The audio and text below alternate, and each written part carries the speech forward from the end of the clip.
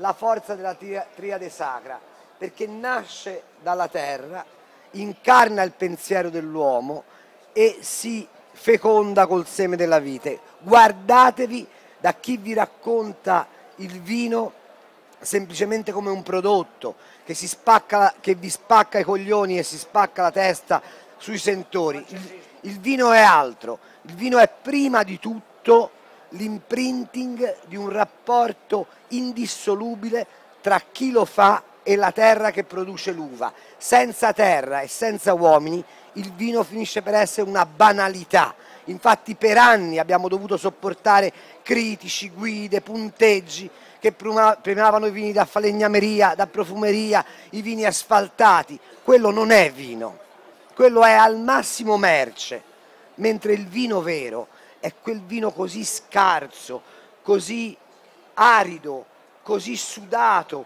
così interpretato che diventa irripetibile. Io credo che nonostante i numeri da Calpene Balvolti, ogni bottiglia di Calpene sia in qualche misura irripetibile perché è fatta della stessa sostanza dei, dei sogni, per dirla con Shakespeare, e sono contento di partecipare con questo premio a un segmento di questo sogno. Grazie.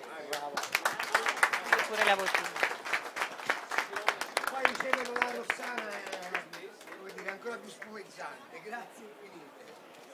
Ah, qua sì.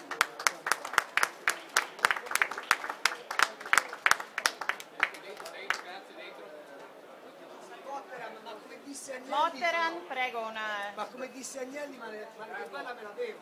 Sì, ringrazio Carlo Cambi per le parole che ha riservato alla Carpene Malvolti.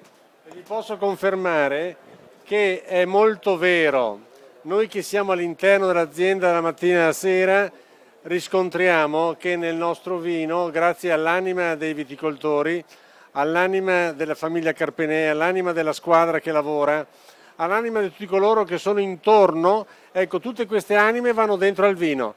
È per questo che quando degustate una bottiglia di Prosecco Superiore Malvolti sentite che c'è qualcosa di particolare. Vi ringrazio, ringrazio Carlo Cambi e complimenti a lui. Grazie.